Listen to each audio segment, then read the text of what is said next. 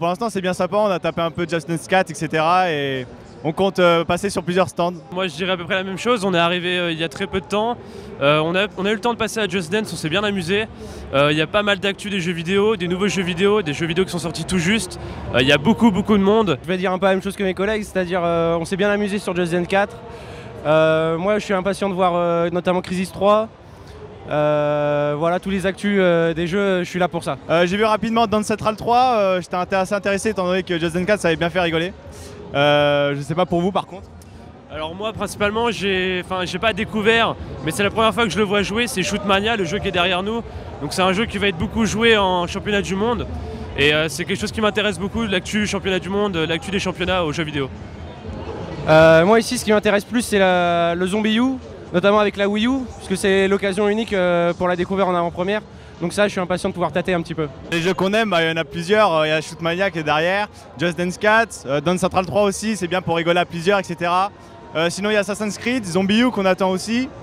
Euh, Medal of Honor que j'ai envie d'essayer, même si les critiques sont pas pour l'instant super. Et aussi peut-être Call of Duty si j'ai l'occasion, mais je pense pas, on verra bien. Alors moi je dirais qu'on a une boîte de pente euh, qui joue beaucoup sur les FPS. Donc là dernièrement on a beaucoup joué à Borderlands 2 ou à Battlefield 3.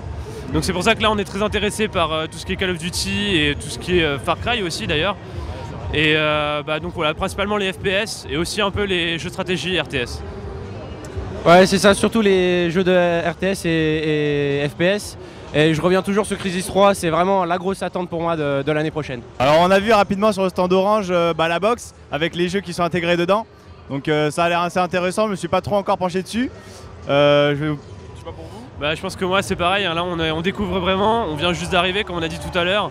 Donc on a encore plein d'infos à découvrir, mais apparemment ouais donc une nouvelle box, donc des jeux vidéo intégrés, quelque chose qui est très intéressant, donc à voir, à découvrir. Je suis impatient de découvrir ça puisque bah, je suis client Orange, donc euh, si sur Livebox maintenant il y, a il y a des jeux vidéo, ça peut être vachement intéressant. Apparemment là Orange permet de regrouper pas mal d'infos, donc euh, à voir, pareil à découvrir.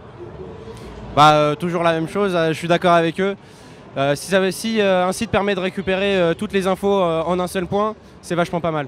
C'est les infos qu'on pourrait retrouver qui seraient intéressantes, seraient plutôt euh, bah, les tests de jeux vidéo, les nouvelles actualités, donc euh, les nouveaux jeux qui vont sortir, etc. Euh, sur les consoles aussi éventuellement, ça peut être intéressant.